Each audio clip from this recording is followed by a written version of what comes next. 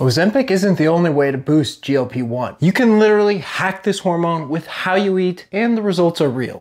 GLP-1 is a hormone that tells your brain you're full, slows digestion, and reduces appetite. That's why drugs like Ozempic work. They supercharge that hormone. But here's the kicker. Your body already makes it naturally. Here's how you trigger GLP-1 without drugs, starting with what you eat. Fiber from beans, veggies, and whole grains ferments in your gut and releases short-chain fatty acids that stimulate GLP-1. Monosaturated fats like olive oil, avocado, and pistachios give a direct boost. And when you eat carbs, add fat. Bread with olive oil triggers more GLP-1 than bread alone. But it's not just what you eat, it's how you eat. Eat protein or veggies first, then carbs. Front load your day with a big breakfast. Chew more, eat slower. Yeah, even that matters. Will this raise GLP-1 to the levels of Ozempic? No. Ozempic hits 65 nanograms, which is insanely high. But here's the catch. When it comes to heart health, the Mediterranean diet lowers cardiac risk more than the drug. 30% versus 20%. So if you're not into needles and side effects, food isn't just a backup, it's the long game. This is why how and what you eat matters way more than you think. Save this and actually try it for a week. You might feel fuller without meds.